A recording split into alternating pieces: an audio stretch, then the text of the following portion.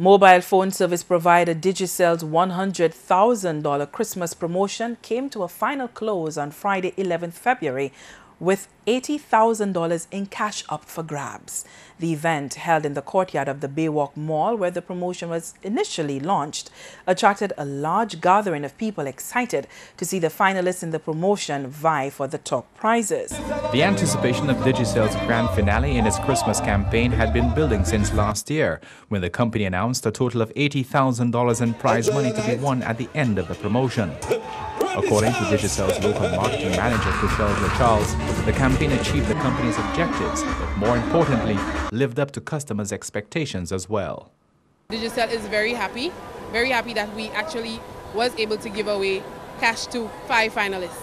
Last year we gave uh, land to one lucky finalist and one loyal customer, but this year we gave cash to five finalists. So that was one of our objectives and we didn't meet that objective this year.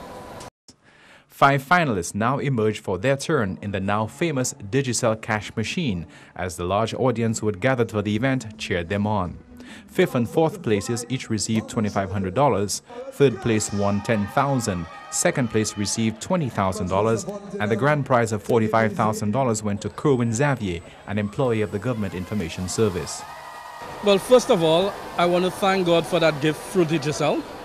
Um, most of that money for me is actually going to help my mom basically. Um, she has a project on, and so I'm not even sure I'm going to get one one cent out of this because I've already earmarked. In fact, from time persons heard that I was a finalist, they kept sending the proposals.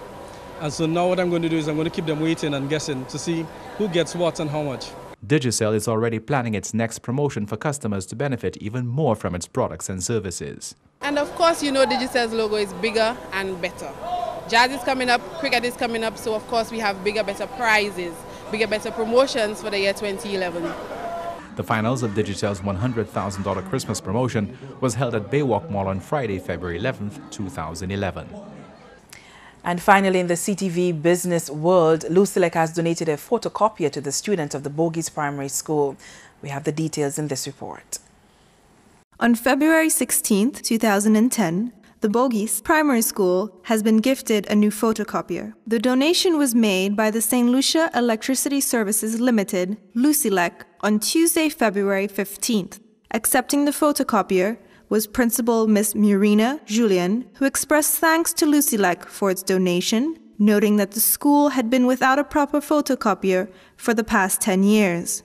We were in dire need of a photocopier because we have assessment every Friday the teachers test what they teach from Monday to Thursday on Fridays, and it is kind of difficult to get um, the assessment material ready for the students by Friday.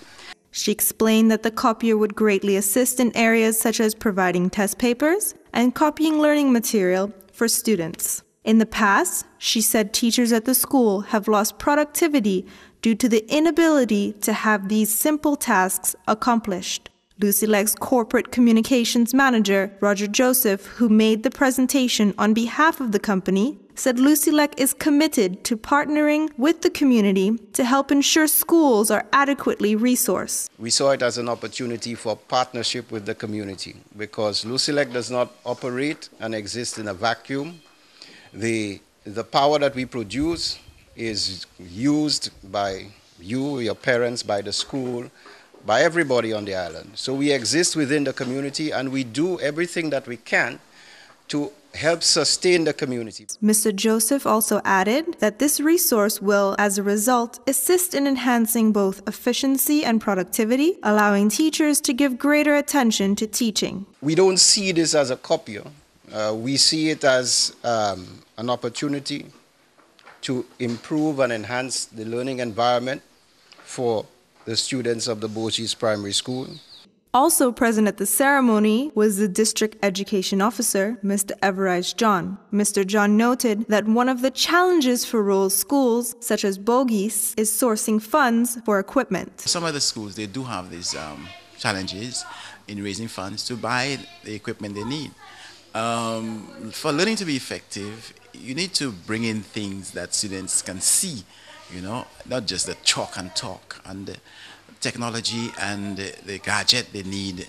Um, sometimes can be expensive. So when you find a corporate um, entity like Lucelec coming on board, it, it, it's, it's, it's very gratifying. His hope is that this token will assist Bogies in increasing the percentage of common entrance passes. And that's the CTV Business World. Thank you so much for watching. I'm Lisa Joseph. And remember, keep watching Calabash TV.